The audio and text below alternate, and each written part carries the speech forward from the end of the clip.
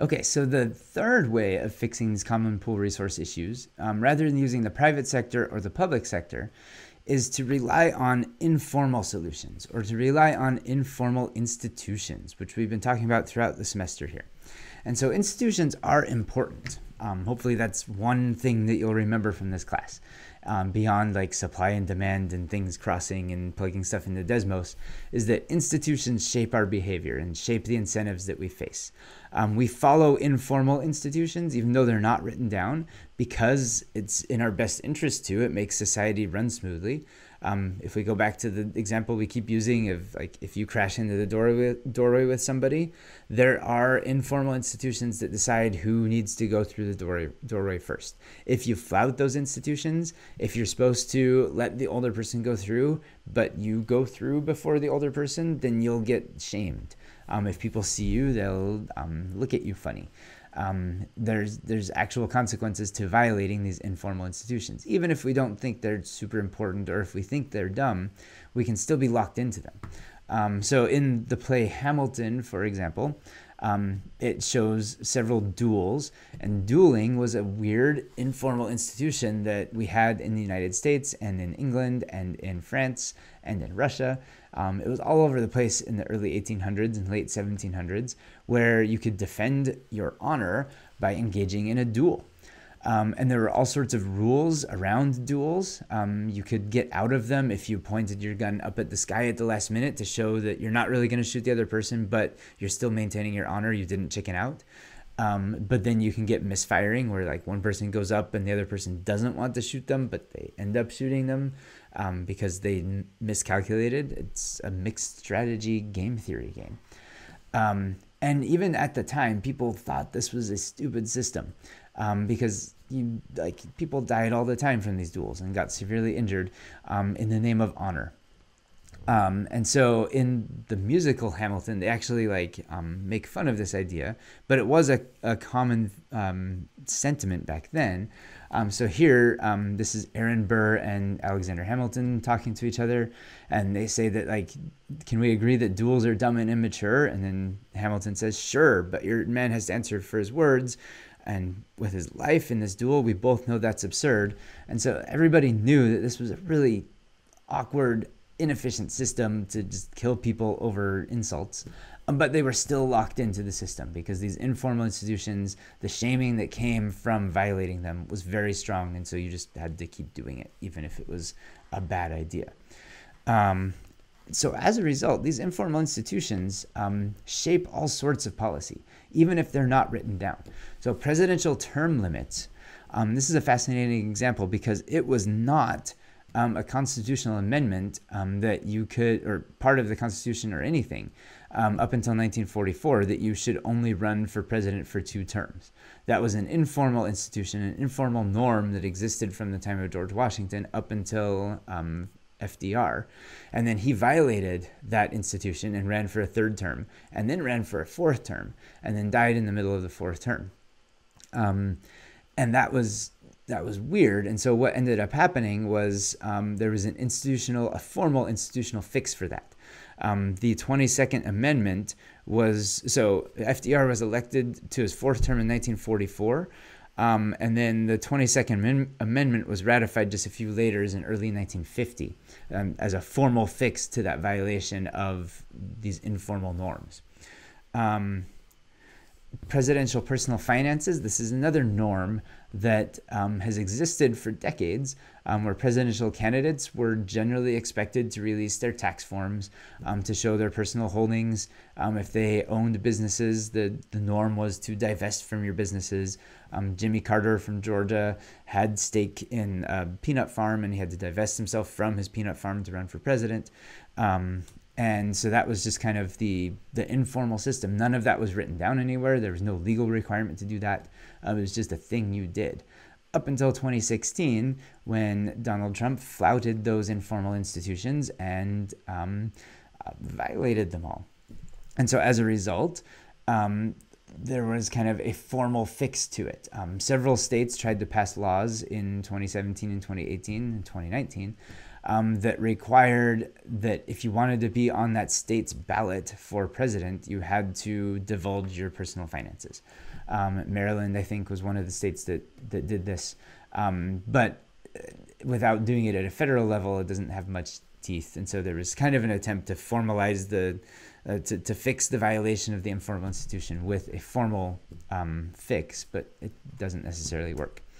Um, we also see this with the, the Senate idea of the filibuster, where any senator can hold up a piece of legislation.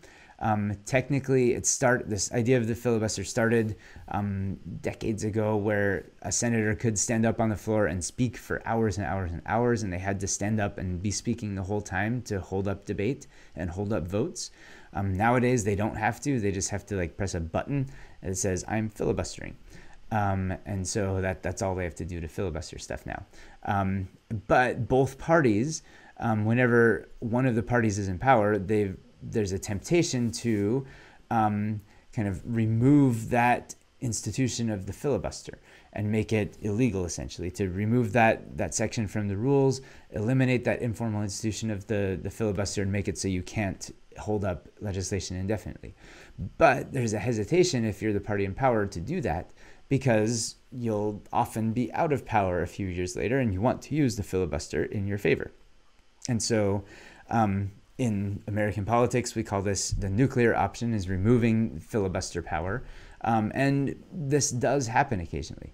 Um, for federal judicial appointments, there's the Senate cannot engage in filibusters anymore um, because that power was was taken away a few years ago. Um, the Senate majority voted to get rid of the filibuster rule um, and make it illegal so that you, you can't filibuster anymore for federal judicial appointments. Um, but then, as a result, um, under the Trump administration, tons of federal judges have been sailing through because there's no filibuster um, to stop them. Um, so, in all of these situations, um, these these all started off as informal institutions, just things that you should do because it is good to do. Um, and then when they got violated, um, it led to formal fixes of them. And so FDR ran for a third and fourth term. We got an amendment fairly immediately. Um, Donald Trump did not divulge his tax information, did not divest from his businesses. The Southern District of New York has been pursuing all sorts of legal cases against um, conflicts of interest with Trump holdings in, in New York. Um, states have been trying to um, remove Trump from the ballot because he's not producing his, his financial statements. So there are attempts to fix these things at a formal level. Um, but one problem with this, as we've talked about in past sessions here, is that if you make something formal, um, it changes the incentives. Now you have extrinsic motivations. Now you will only follow um, specific guidelines. Um, you won't divulge your presidential finances because it's the right thing to do. If there's a requirement that says you must show these tax forms, then most presidential candidates are going to show those tax forms only because now the law says to only do this, and so you can do the bare minimum and get away with it. Um, and so in all these situations, you can you can get the formal fix, but it might erase the informal institution behind it and erase the spirit of the law and replace it with just the letter of the law, and you can violate kind of the spirit because that's gone now. So it is it is sometimes dangerous to replace these informal institutions with the formal versions of them. Um, but also, these informal institutions, the reason we care about them so much is you can use them to help enforce um, um, social contracts. And you can use them to fix common pool resource problems and market failures and other um, issues that you have with the provision of public goods. Um, one of the main researchers in this field of using informal institutions for um, fixing public goods issues is Elinor Ostrom here. Um, she was a political scientist at Indiana University up until 2012 um, when she died. Um, in 2009, she was awarded the Nobel Prize in Economics, even though she was not an economist, she's a political scientist. She was also the first woman to win the Nobel Prize in Economics, um, which is great because one, like, she's not an economist, but she still got the Nobel Prize. Um, since then, there's only been one other woman to get the Nobel Prize, and that was in 2019, Esther Duflo um, won the Nobel Prize, and you'll read an article by her in the in the last session, session 15. And so she does really important work that's become famous all around the world. Um, and the stuff that she looks at is how informal institutions can actually shape governance um, and can shape people's access to public goods. And so one of the um, one of the illustrations she gave in the chapters that you read from Governing the Commons was of fishermen working here. This is Alanya, Turkey, here. It's a small um, tourist village, fishing village in Turkey. Um, and what she found in her research about Alanya was that there was natural overfishing. Um, there were 100 fishermen in the city, um, and they would they would wake up super early. They'd rush out to the best spots. They'd overuse the best spots and then rush back home. And they would wake up earlier and earlier. And so it was divulging into this commons issue with this race out to, to get kind of the best fish and then the least, the next the next best fish and then the next best fish and then everybody was just kind of overusing the commons in general. Um, but what she found um, was that these fishermen recognized that they were um, kind of engaging in this arms race and overfishing and leading to bad outcomes. And so what they did was as a community they came together to figure out some informal system for addressing the overfishing. Um, and so what they ended up doing was by themselves, the Turkish government didn't show up in the village and say, here's what you're going to do now. It was just the fishermen themselves got together and said, we need to fix this. So they invented a rotating system for fishing sites. Um, and so you could fish in one section of the bay for a week, and then the next week you could move to a different section. Um, and so that fixed kind of the parceling idea that we talked about a couple sections ago, where if you get a bad parcel, sucks to be you with this rotating system, if you get a bad parcel, you wait a week and then you can have a better parcel. And then you can move around to different parcels in that bay or in the fishing grounds in general. Um, when people cheat and when there's violations, they actually had a whole community judicial system that they invented. Um, and they handled violations in the town coffee house. And so if somebody cheated, they got all sorts of public shaming. They invented different types of fines in the community, um, but it was all very self policed and self enforced. Um, fishermen still had to be licensed, um, but you didn't go through the Turkish government. You went through the village and the kind of the guild of fishermen, and um, you got permission to go out and get put into the rotating system, and it worked. And they were able to fix the overfishing, um, and it, it ended up being a fairly equitable, just system that had equal access to everybody, and people were happy with it. And they had systems in place to punish um, people who defected and who violated those norms. Um, and the key to having this work here was that this local solution that they just kind of invented by themselves had legitimacy and had authority. The fishermen subjected themselves to the authority of the other fishermen. And the reason this solution had legitimacy and authority is because they all knew each other. It was a it was a community based effort, and so they all knew their families for decades, and so they were invested in making sure that the system worked. They didn't want to overfish because it was all of their livelihoods. They were all very invested in this, um, and so it worked well. Um, and so what's what's interesting here is if you want to replicate this in other places, it's kind of hard um, because this institution worked. This informal rotating institution in Alanya worked well because there were already pre existing good institutions and good community bonds with people. And those existed because they were built on previous good bonds with people. So for decades, these families had been working together and they knew each other. And so if you want to recreate this thing, you essentially get this this idea of like good institutions exist because of prior good institutions, which also exist because of good prior institutions. And so you end up with this whole turtles all the way down situation, um, based on this this old myth where um, somebody was asking like where the world is and somebody said like it's sitting on top of a turtle and then where's that turtle standing? It's standing on another turtle and it's just turtles all the way down. Um, you can have good institutions all the way down and so in Alanya it worked because you had a good foundation of good institutions but that became because of prior good institutions um, but if you have a situation where that works, where you know that there's strong community bonds, um, and you know that people know each other and there's ways of, of enforcing rules, um, you can actually um, create good norms in those communities based on those good institutions and generate self generated institutions.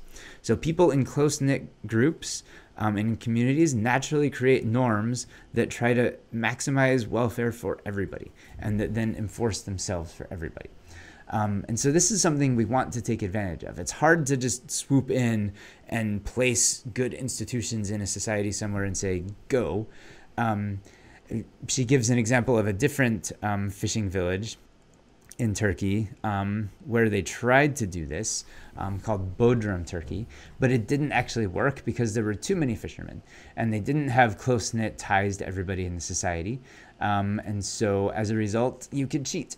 And um, you, if you got punished, oh well, it wasn't bad because you could just move to a different part of the city and you wouldn't like the shame wouldn't follow you because it was a bigger community and so it was really hard to enforce those norms.